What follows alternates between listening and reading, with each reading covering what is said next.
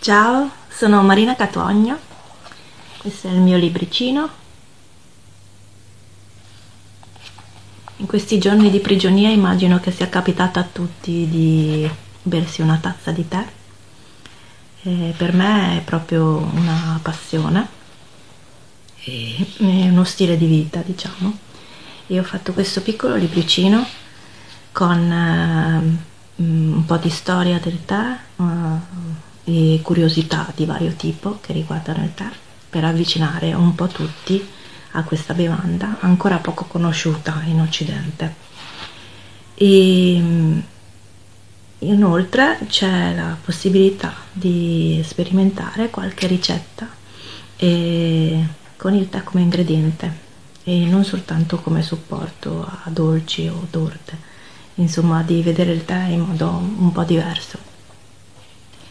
Mia mm, passione per il tè come è nata? Vi leggo qualche pagina. Personalmente sono appassionata del tè in tutte le sue sfumature e ho nel tempo istruito sia la mente sia il palato per conoscere sempre di più la, in profondità questa pianta e le sue caratteristiche. La tazza di tè eh, da bere durante il giorno non è una scelta da fare con leggerezza, una tazza di tè sbagliata che non corrisponde alle mie esigenze del momento o fatta male o con velocità o, che, o con, con noncuranza mi può cambiare completamente la giornata. È un po' come accade con le spezie, può ottenere effetti diversi a seconda della tipologia di tè che scegli. Trovo che ci sia in questa pianta qualcosa di, di quasi alchemico e magico. Ricordo piacevolmente un film greco, Un tocco di zenzero del 2003, diretto da Tossos Tassos Baule Mentis, eh, che evidenziava la magia racchiusa nelle spezie, nella cucina tradizionale greca. Io faccio lo stesso, io faccio lo stesso con, uh, con il tè.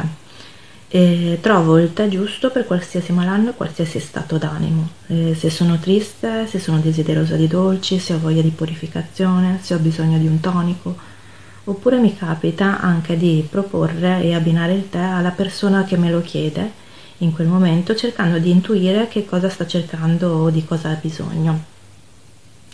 Si prendono decisioni importanti davanti alla tazza di tè, si studiano cose che richiedono concentrazione, si aprono le anime e si fanno confidenze attorno a una calda e fumante teiera. Una volta una signora nel, negozio, nel mio negozio di tè mi chiese seria seria, lei ha mai sedotto con il tè? Su due piedi mi fece un po' sorridere, ma riflettendoci bene è un vero e proprio, è proprio vero che il tè, attraverso il tè il suo rito sensuale si ama e si seduce. Era autunno quando questa incantevole signora entrò in negozio ed era lei stessa vestita interamente dei colori di questa stagione.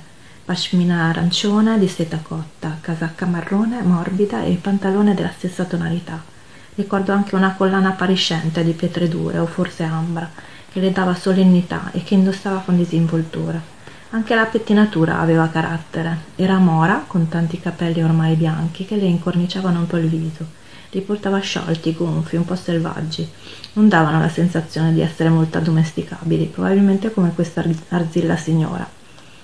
cercava il tè Golden Yuna Black Special, un tè da meditazione ricco di gemme apicali, di colore dorato. Era molto esperta.